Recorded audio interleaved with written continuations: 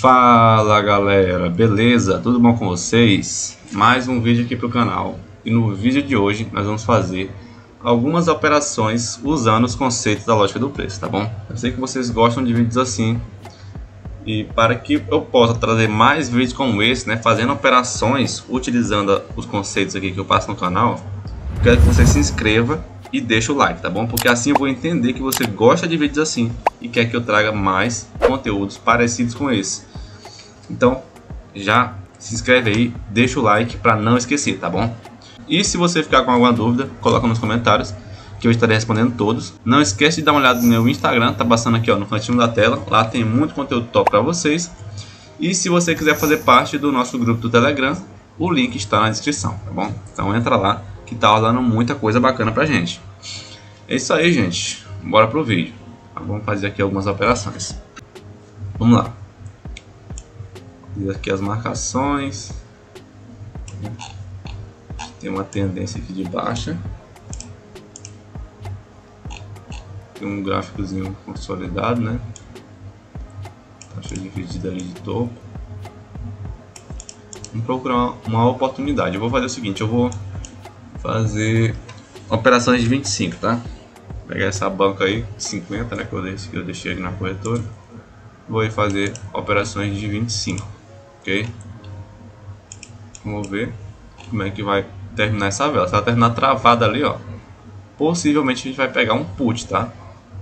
Que aí tem uma taxa única, né? A gente pega esse put aí para continuar. Não travou, então a gente aguarda. Vamos lá.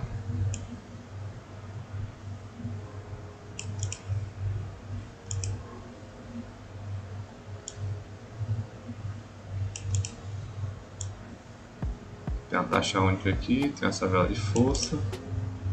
Certo? Essa vela de força aqui ela é porque ela rompeu essa posição completa. Ela também é uma vela de força. E aqui os gráficos estão bem estranhos, né, gente? O mercado aberto tá estranho. Eu vou olhar um pouquinho aqui no ATC também. Dar uma olhada aqui no ATC, talvez a gente encontre uma oportunidade melhor. Né, de fazer algum trade, alguma operação. Vamos ver.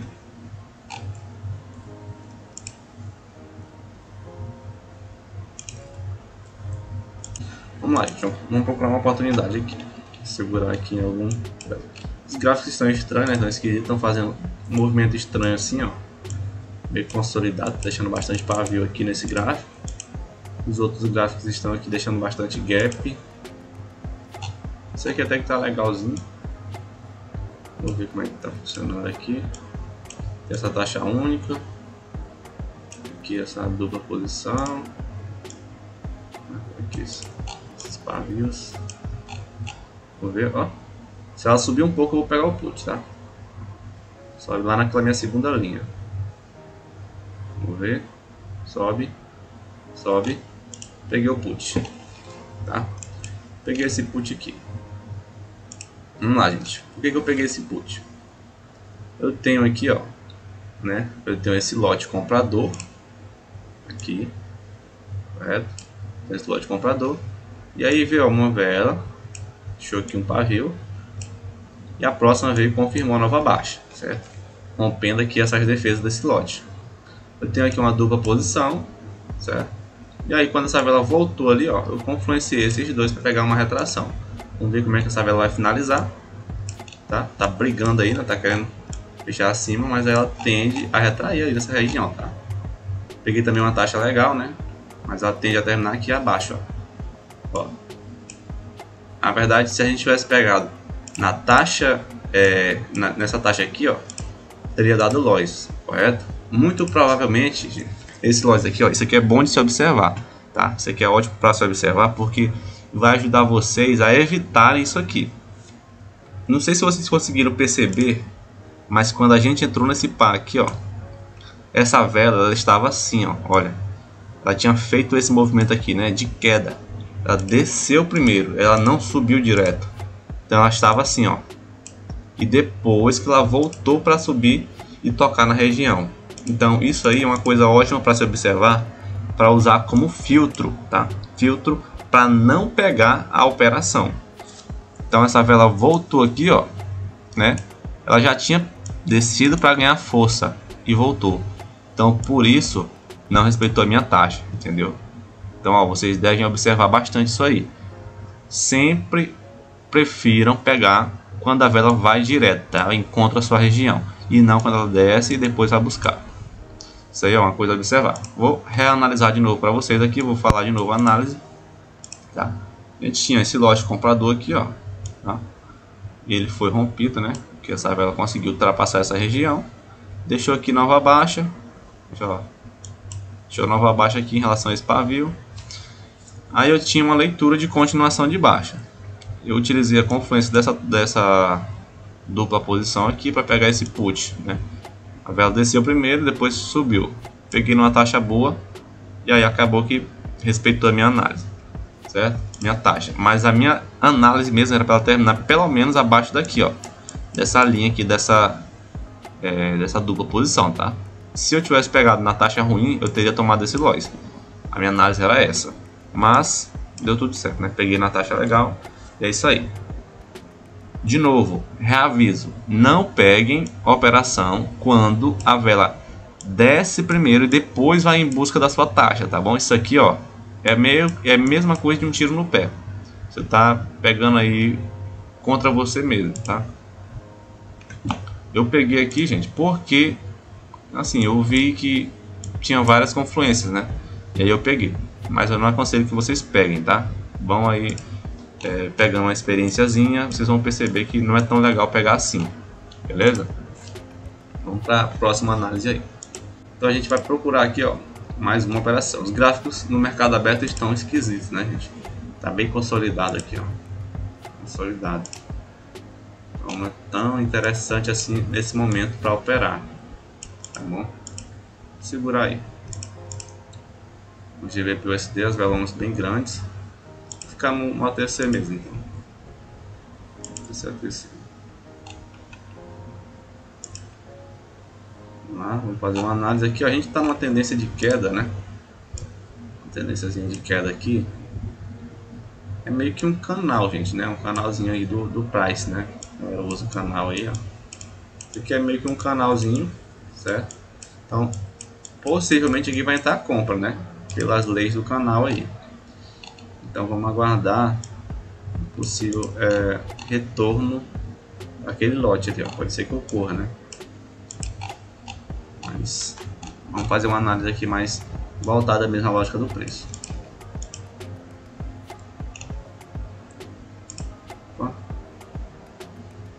Aqui esse lote de compra, ó, travou aqui, começou a voltar observar o que aconteceu aqui.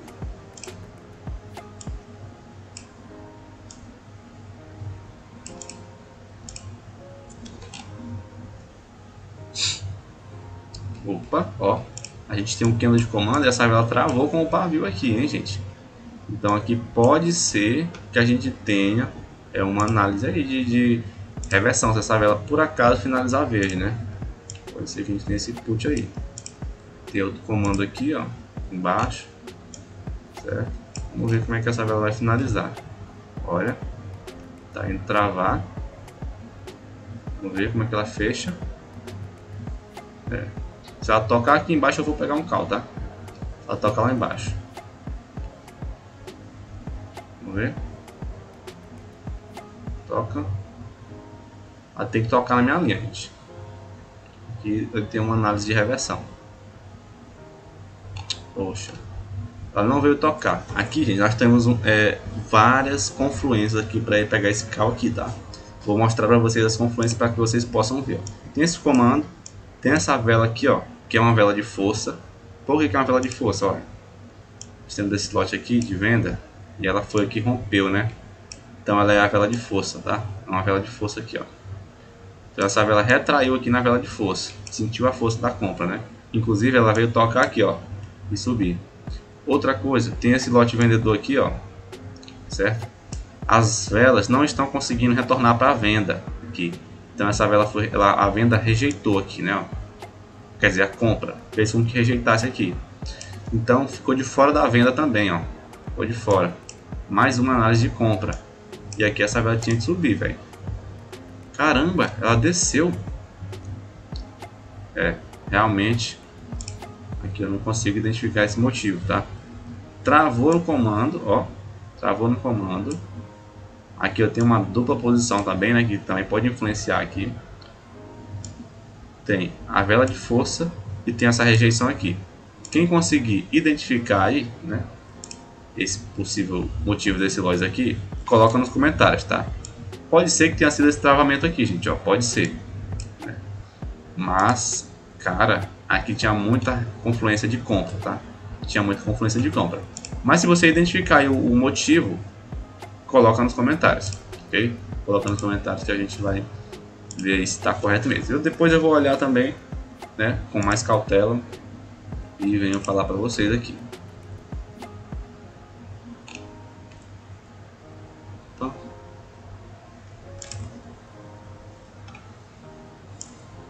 Caramba, eu tô impressionado com aquele loja ali, viu? Que a gente iria tomar.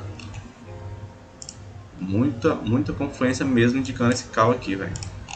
Inclusive até a tendência estava de alta. O SD e NR, tá? SPA aí, ó. Dar um loja na gente aí bonito.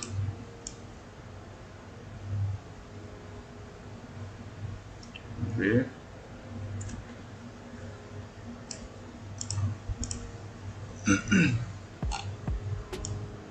Ó, tem um comando aqui na tendência de baixa, tá, gente? Comando na tendência de baixa, se travar, a gente pega esse put. Ok? Vamos ver como é que ela vai fechar. Ó. Deixou travada, peguei o put. Tá? Peguei esse put aí. Caramba, parece que não travou. Mas não tem problema não. Aí ela tende a descer. A tendência tá de queda, vamos aguardar como é que ela vai fechar, ok? Aqui seria interessante se ela tivesse travado mesmo assim com o corpo, né? Ó, travado direitinho com o corpo aí para a gente pegar um put bem com segurança. Mas pela força da tendência, gente, isso aqui tende a respeitar, tá? Agora só se for igual aquela ali, né? Do USD aqui que não respeitou, não sei nem como mesmo. Mas vamos ver aí como é que vai fechar essa vela.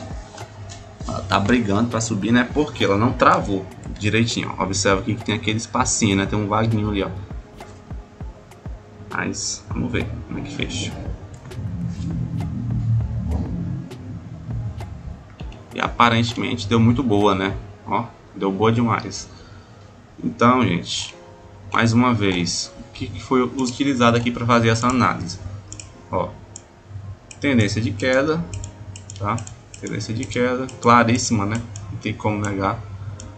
E aí, forma um candle de comando, vela trava, put. Poxa, muito simples.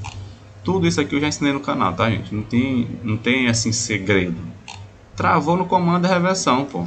Favor da tendência, ó. É ouro, entendeu? É ouro. Imprimir dinheiro. Vamos lá, vamos procurar mais uma aqui. Se a gente encontrar, a gente faz essa operação e encerra o vídeo, tá? Vamos ver aqui como é que os gráficos no mercado aberto estão se comportando. Começaram a ganhar um movimentozinho. Ali uma taxa única.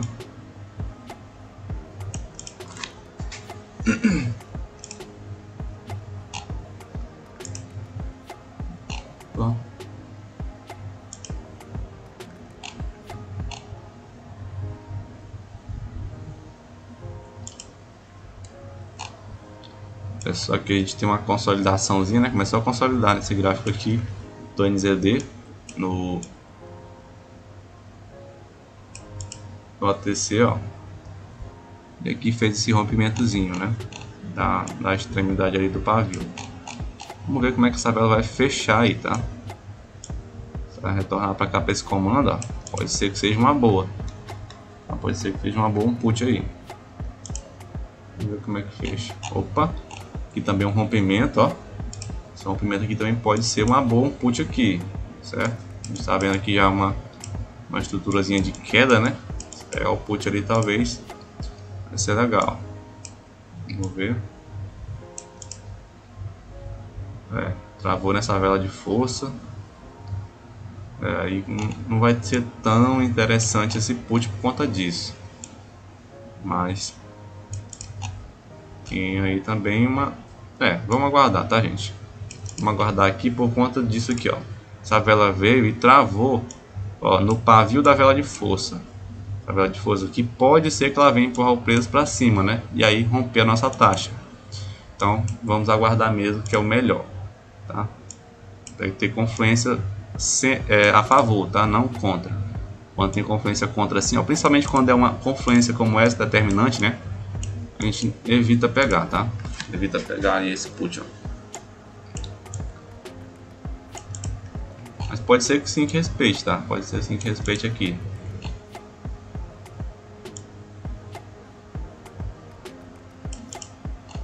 Ó, terminou acima, né? Então, ó, boa. Filtramos aqui um loss, né? Evitamos um loss.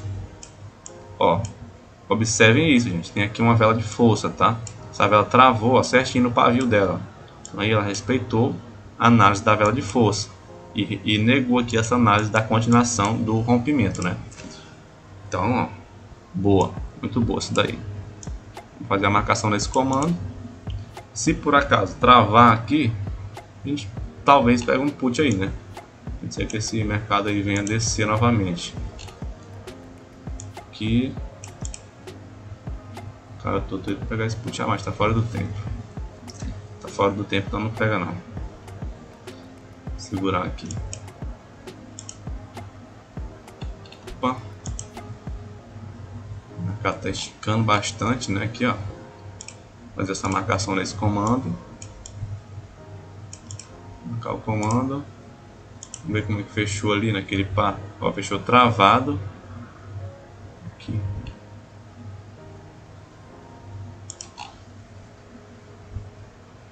Fez uma desinstalação. Vou pegar esse put. Vou pegar esse put aqui, tá? Peguei o put aí.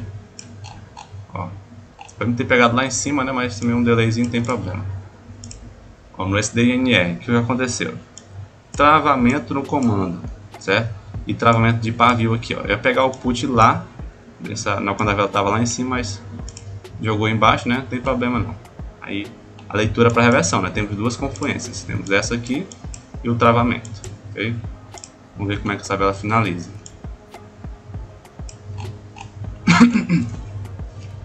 Agora é bonito se ela fechar ali abaixo dessa linha e não abaixo dessa.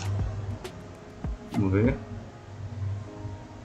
Caramba, velho. Tomou loss por conta da taxa. É complicado. Ó, o delay jogou lá, a gente lá embaixo, né? Mas aí não tem problema, tá, gente? Vou explicar de novo a análise para vocês, tá? Análise foi. Observar aqui que o mercado começou a fazer essa estruturazinha de queda, né? Subiu, travou aqui no nosso comando, ó. travou aqui pavio com pavio, desinstalação. E aí a leitura é para reversão aqui, certo?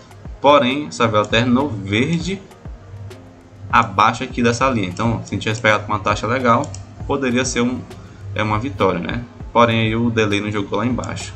Aí é isso aí, não tem problema não. Então, gente, esse foi o vídeo de hoje, tá? Espero que vocês tenham gostado, espero que tenham aprendido bastante e que vocês consigam replicar essas análises aí é, nas suas operações, tá? Se você conseguir identificar o motivo desse loss aqui, ó, aí você me fala, tá? Bota aí nos comentários e daquele loss lá, ó, que a gente ficou impressionado, né? Que foi esse aqui, ó, que deu loss aqui, por quê? Vocês colocam nos comentários aí que eu estarei respondendo todos. No mais é isso, valeu, gente, até o próximo vídeo, tá?